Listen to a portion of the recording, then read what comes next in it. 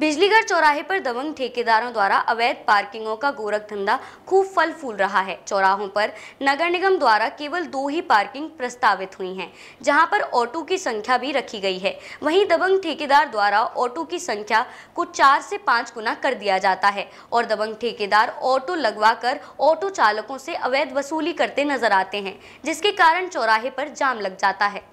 आगरा का सबसे व्यस्त चौराहा कहे जाने वाला बिजलीगढ़ चौराहे पर अब अवैध पार्किंग के चलते अतिक्रमण लगा रहता है, जिसमें नगर निगम द्वारा आगरा किले की ओर जाने वाली ऑटो की संख्या 60 है। तो वहीं दबंग ठेकेदार द्वारा कम से कम 200 से 250 ऑटो लगवा दिए जाते हैं, जिससे बिजलीगढ़ चौराहे पर जाम लग जाता है। यही नहीं, दबंग ठेकेदार द्वारा ऑटो चालकों से पैसे लेकर उन्हें नगर निगम की रसीद तक नहीं दी जाती है।